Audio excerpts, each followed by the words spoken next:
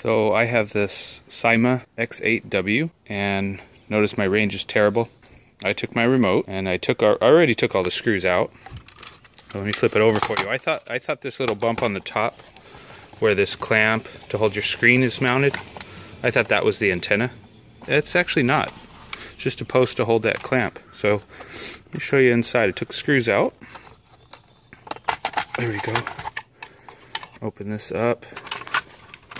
Those wires are the to the batteries that are on the back. But right there, if you look at that little board, those two little wires, that's it. That's your antenna.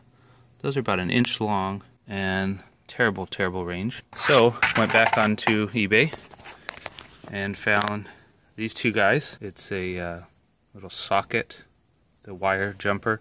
They were $3.99 with $2.99 shipping, so about $7 for those came to as, as a pair. And for $3, I got a pair of these antennas off of eBay. And uh, these screw onto those sockets. I'm going to drill a hole, put it about there, and then we'll see if uh, that'll give me some more range, but that's going to sit on there like that. So uh, let me put that in and see how it does. Okay, so on this uh, connector, I need to cut that off. So let's snip that off. See if I can uh, strip it back.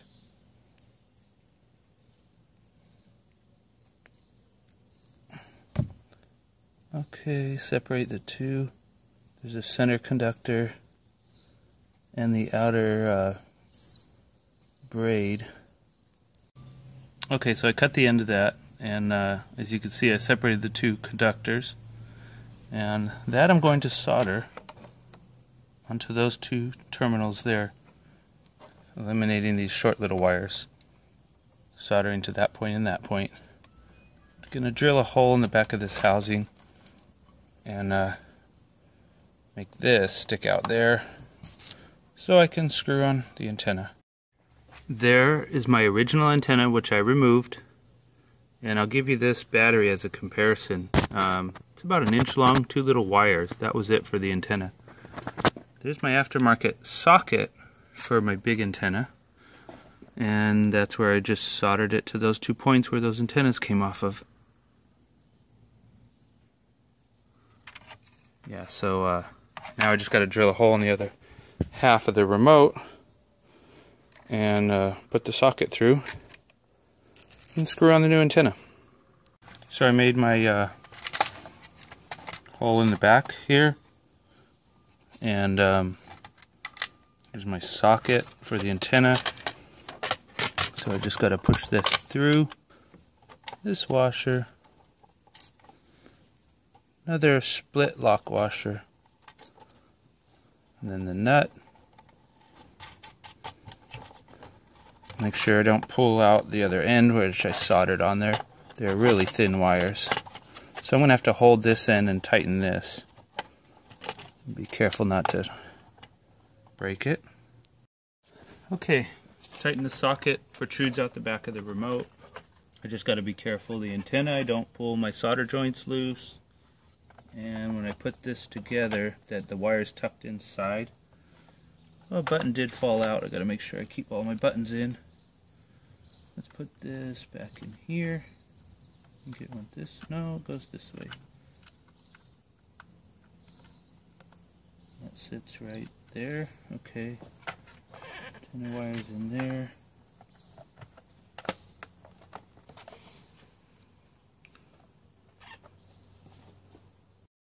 Okay, screwed the remote all back together. There's my new jack for the new antenna. All that's left is to screw on the antenna.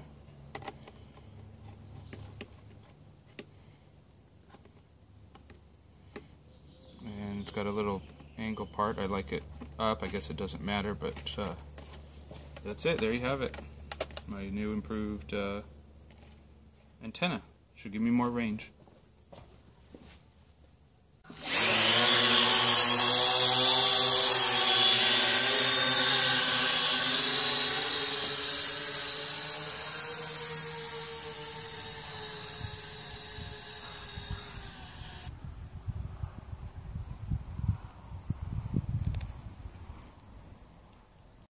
Okay, we're out here to do a range test with the new antenna on the remote. But I just wanted to show you my homemade uh, GoPro mount. I'm going to place that underneath here. Let you see how this attaches on here. Just kind of stretch it over.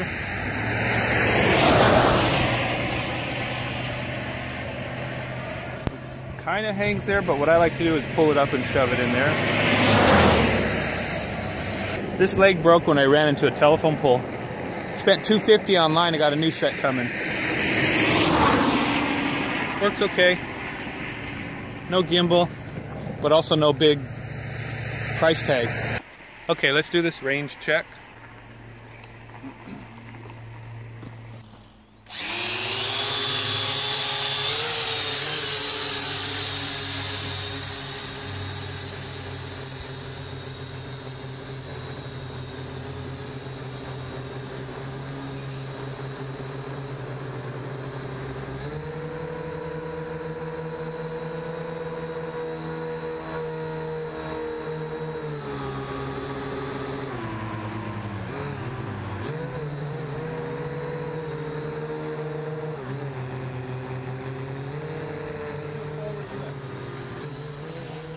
go. Let's try backwards. Get back over here. Come down a little bit.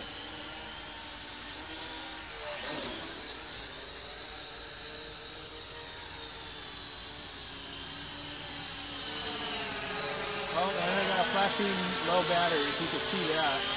That in case my battery's low.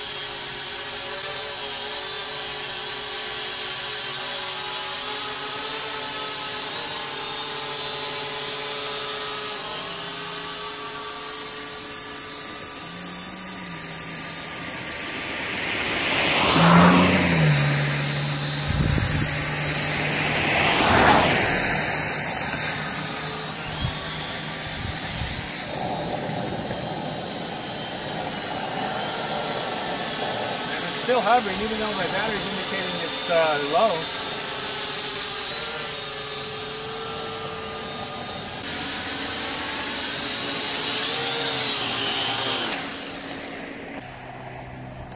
Okay, so I'd have to say uh, definitely more range. Not as much as I was expecting, but uh, I would say at least one and a half times what it was, possibly twice possibly twice as strong, twice the distance. So what I think I'll do is also I uh, have another one of these. I'm going to do the same thing on the uh, quadcopter itself. A um, little bit shorter antenna though, um, and I think I'll put it down, sticking down from the bottom because it's always going to be above me. No reason to have it up on top.